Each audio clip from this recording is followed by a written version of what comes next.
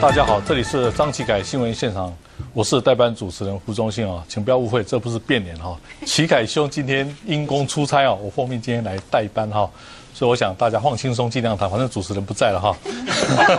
我来介绍今天来宾哈，这个谢宏兄，大家好，还有这个洪维小姐哈，主持人好，大家好。好，沈大佬，忠信，大家好，美玉，胡大哥好，大家好。好，珊珊律师哈，大家好。玉琪干言，哎，晚安。好，还有达叶老师哈，是是台大财经系教授哈。那今天有一个《时报周刊》一个非常重大的独家报道，根据我了解是来自特侦组哈。我来引述一下这一期的这个《时报周刊》的内容，我请教这个社长哈，这枚玉小姐就是扁家瑞士暗藏三十亿哈。扁家弊案爆发之后，究竟有多少资产被洗到海外呢？海角七亿、十亿、二十亿，各种说法不一啊。根据《时报周刊》，应该是来自特侦组的权威消息啊。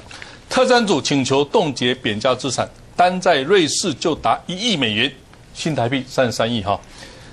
这还不包括在美日的资产哈。我请教这个美玉社长啊，这个消息可靠性怎么样？为什么这个那么重大的突破报道呢？其实这个消息是非常可靠啊，因为为什么？我们知道，呃，上上一两个礼拜大家都谈威格林银行哈，那为什么会谈威格林银行？因为陈志忠为了证实他的五点七亿已经被冻结，所以他是传真哈给陈东豪一个发文的一个一个文件里头，那那里头他他的就是威格林银行告知他说有人要来查你这个这这个五点七亿哈，所以他他是要证实说我的父亲被严压是你特侦组啊吃案，你没有告诉。呃，高院跟地院说这五点七亿是被冻结的哈，你还说是我爸爸可能逃亡哈，那用这笔钱啊逃亡海海外，那特侦组证实这个是那告诉我们什么呢？因为我们讲很多，到扁家在海外有多少资产不知道，姚老师说日本有三百亿，现在美国还有照邱毅的讲法还有二三十亿哈，那特侦组很清楚的告诉大家，光是瑞士的账户，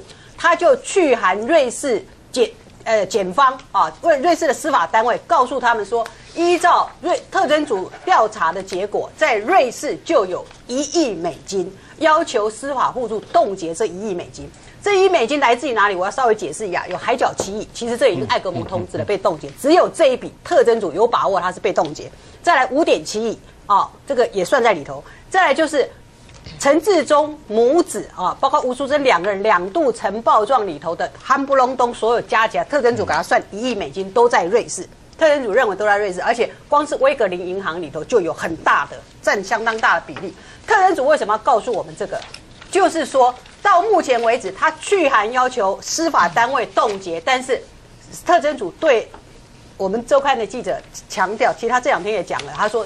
因为司法单位，瑞士的司法单位没有回函告诉我们这个冻结了没有，所以因为他们没有正式回函，所以我不能告诉检检呃法官说，呃高院跟地院的法官说这笔钱五点七亿冻结了，陈水扁没有逃亡之余，这是关键。为什么会这样子一个发展？我们今天有非常多的财经专家，有记者洪伟，还有律师，还有教授，我们来一一来请教你们哈。我先请教洪伟小姐，你长期跑跑财经新闻哦，对于今天时报周刊所披露的高达。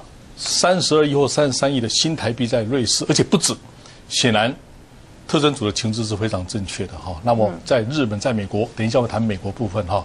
你自己对这个这个突破，你有什么观察？其实哦，在瑞士的那一部分啊，其实，在昨天在严押庭那个陈水扁也是在争执这一点，就是一直说呃，这个特征组吃案哈，明明被冻结。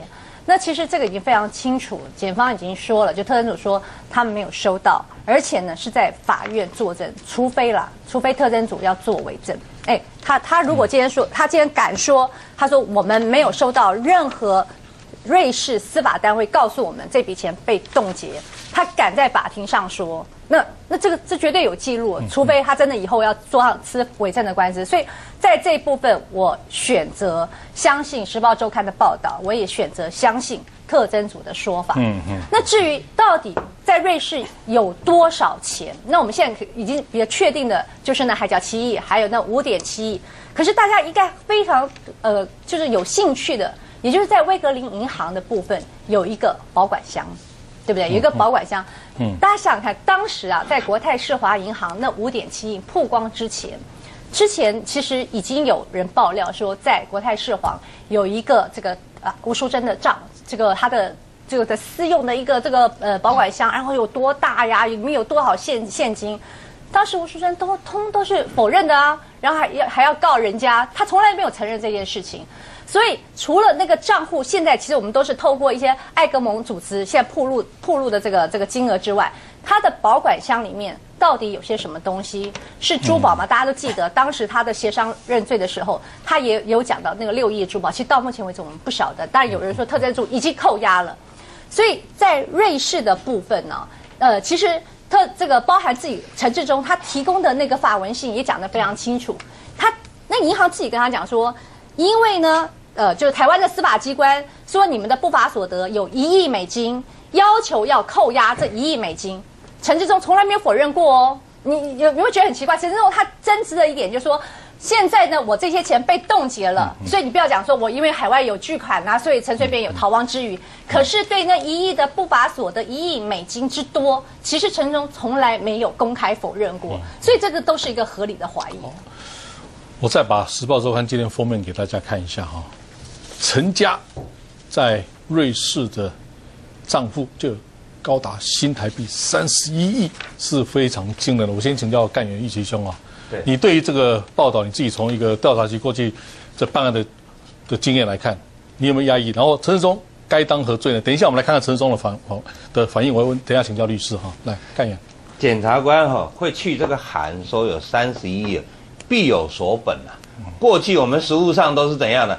把相关人等的身份证字号、护照的号码，通通给中央银行发函给中央银行，查说这些人。在这个哪一段时间之内会出去国外的钱有多少？那所以说呢，这些多少一累计起来，可能就已经三十一亿了。我我我们过去办案是这样子哈，这个是呃去年八月的数字，根据办案的经验啦，隔了一年多，这个数字。应该还会再加倍，为什么呢？有些关系人都会浮现出来，浮现出来他的资料呢，也报到中央，因为我们所有的钱啊，只要一出去的话呢，哈，那个中央银行都会有记录的。所以说，这个三十一亿啊，在我保守估计啊，应该是国内出去的钱。那这个数字还会再增加。另外呢，二次金改呢，是不是在国外在转账啊？这个透过 OBU 的这个这个各境外的银行呢，哈，在做转账的动作，这个我们就不知道了哈。这第一个，第二个呢，所谓的威格的银行啊，我这边要必须强调一下，我特别的问了，威格林不是银行，它是银行事务所，它的角色啊，有一点像李立律师事务所，上次帮那个陈呃刘伟杰刘伟杰那个案子发生的哈。帮美国新地公司在管理账户的这种角色，所以说这种角色呢不受银行法相关的规定所约束的。检察官去个函说我要冻结什么什么，他理都不理你，你只有法院拿手手票来来扣押这些东西，才能够完成所谓的冻结程序。所以说，呃，我非非常的同意呢那个呃时报周刊所。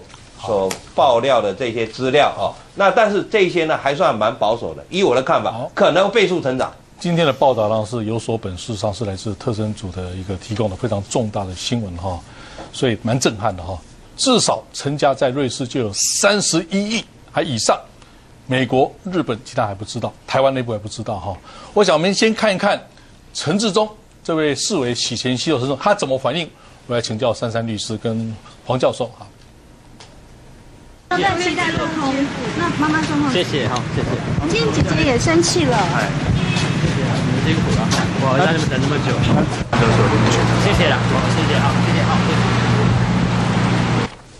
其实陈志忠并他过去都是未置可否哈，哪怕我过去我自己也在说提出二十八十啊哦的法则，包括说他在美国有一封信哈给 Steven 信，他都不回应的哦。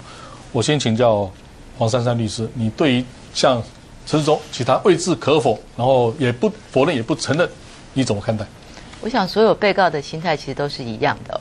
所有的被告都认为，在犯罪没有被发现之前，我是绝对不会承认。就是我想，任何任何人都一样。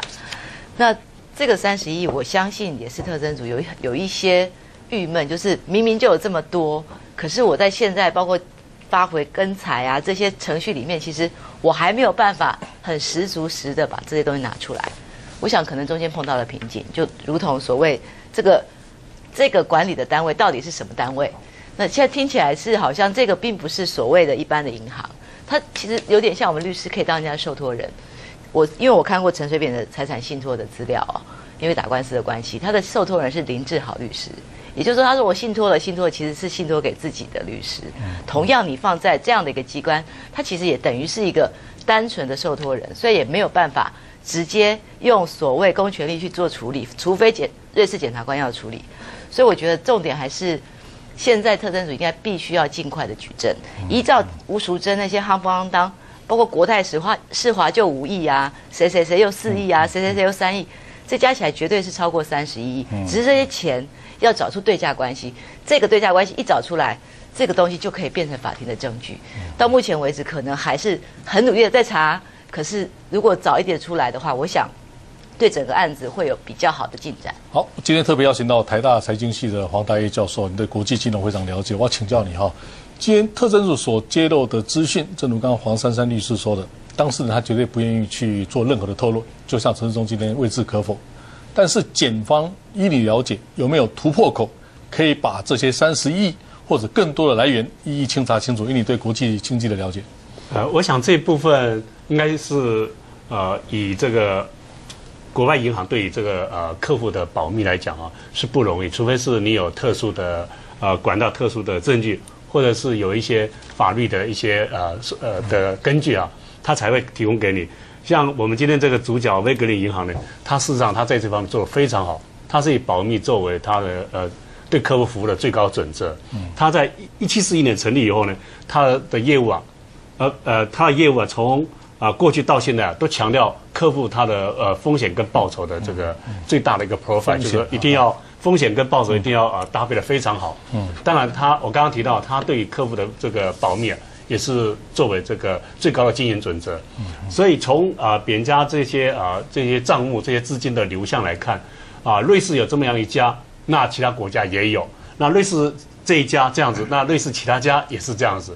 所以我们只能说用比较保守这样子来推估，啊，将来要追索这些资金呢，啊，除非第一个我们有国外的这个协助啊，第二中央银行这边资料也可以把这个互相的验证。那我想在这这些呃搭配情况之下，会把这些资金一一的浮现。那这资啊金额，我想刚刚前面呃啊三位，我想这个推估的非常好，以这个呃财经。的理财的这个角度来看，他们不会通通放在一起的，他们一定把这个所有资金做一个分散。那既然一一个国家的一家银行能够有这么多的资金，啊，假设这三十亿是正确的话，那这样推过来那是蛮惊人的。大家应该从这里可以慢慢追溯出来。审到了，我不用问，我要请教你，你认为怎么样？What do you think？我 我首先哈回应这个深山大大律师的话，就说没有发现之前呢，被发现之前，一般被告是不会主动承认他做了哪些。我觉得这是一般人性啊的自我防卫，这个不足为奇。但是陈志忠是一个积极主动寻求认罪协商的人，这是非常不可以原谅的哈。不过好，回到你的主题了。我首先要跟我们的美丽的王社长求证确认一件事情。我请问，特征组的人跟贵社的人真的有正面接触而亲口讲出三十一亿吗？一亿美金。